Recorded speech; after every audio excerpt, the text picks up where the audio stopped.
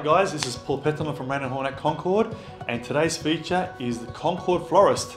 I have Jin here. Hello Jin. Hi, how are you? Good. Tell us a bit about your business, Jin. So we are open on Monday to Saturdays, 9 to 6 o'clock, but particular, you know, functions we open a little bit early or a little bit late. Okay. Yeah. So you cater for functions also, Jin, with flowers? Yeah, such as a christening, yeah, many functions from the here. So yeah, we can considering the, what customer want to. So we uh, do for that one as Okay. well. Okay. So what range of flowers do you have here?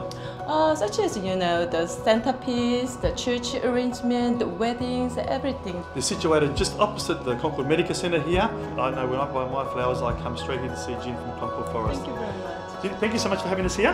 Thank you. Hey guys, this is Paul Petner from Raine and Horne at Concord with Jin from Concord Florist, and uh, we'll see you next week. Here we are, middle of November, in the spring period, and there's only a few short weeks to go to make a decision whether to sell your home or not.